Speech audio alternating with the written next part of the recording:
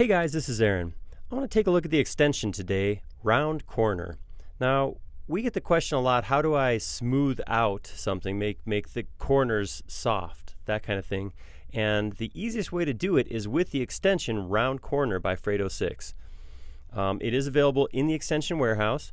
Just a note, if you do go grab Round Corner, you also have to make sure to download Fredo's library, which is called LibFredo. So make sure you get that and install that as well as round corner to do what we're looking at right now. Now round corner is pretty easy to use. Um, select the lines or edges that you want to round off and then click one of three buttons here.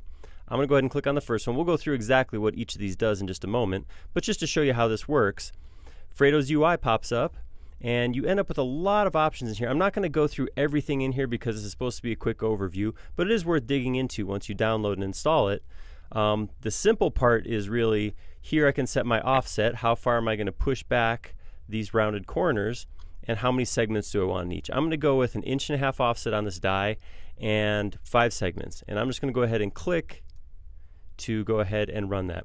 And what that does is then just rounds off all those corners that were selected thus the name round corner. If I turn on my hidden geometry, I can see exactly what that did. That just went through and broke into a bunch of segments to soften that, that shape up. And speaking of soften, that's exactly what it did. It went in and softened all those pieces. So I got this nice smooth shape on my die. Now I mentioned that there is three different buttons here.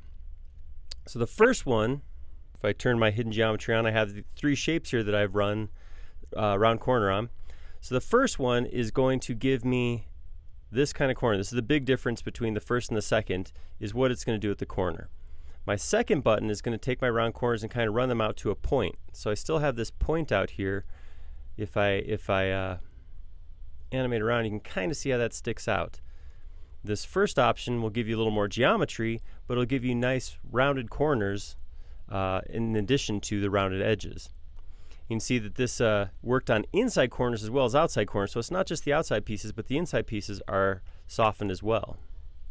The third option is not really a rounded corner so much as uh, a cut off corner. So at about 45 degrees, well, exactly 45 degrees, it goes through and just kind of merges the two planes that are against each other. So this, these are the three options for a rounded corner. Again, if I look at them without the softened, or uh, without the hidden lines, you can kind of see what kind of geometry you'll get there. The nice thing about this extension is it's a very easy to use extension. So I can do things like grab a bunch of geometry at once and just run round corner on the whole thing. Now rounded corner will come up and tell you if you have issues. If the, uh, the rounded parts are going to lap over each other, create odd geometry, it'll actually flag that.